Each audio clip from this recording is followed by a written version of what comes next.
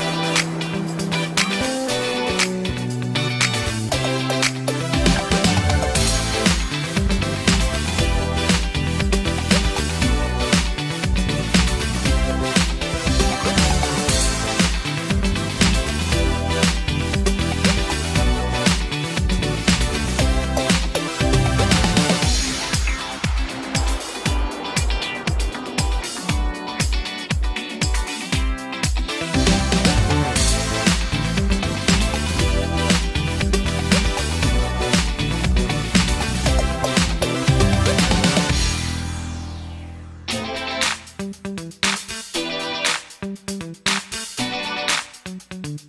you.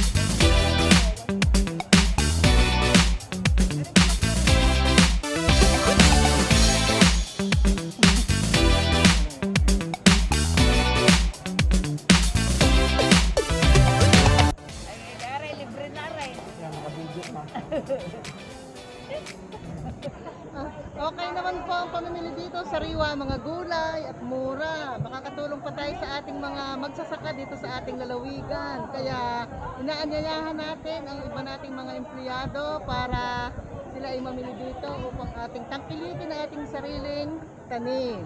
Maraming salamat po.